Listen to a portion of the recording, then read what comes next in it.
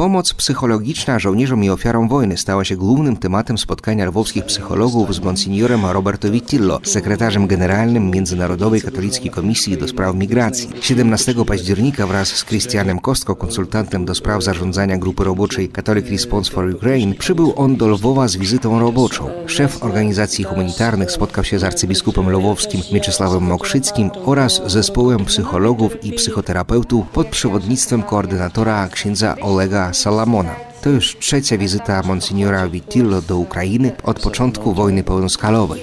Po oficjalnym spotkaniu przedstawiciele organizacji humanitarnych w towarzystwie księdza Olega Salamona i księdza Mykoły Biskupa odwiedzili teren byłego seminarium duchownego w centrum Lwowa, gdzie planowana jest adaptacja pomieszczeń na ośrodek pomocy psychologicznej i ośrodki dla uchodźców, zwłaszcza w Brzuchowicach, oraz rozmawiali z Ukraińcami, którzy stracili domy i miejsca pracy w wyniku wojny Teraz żyją w mieszkaniach humanitarnych, nie mając dokąd wracać.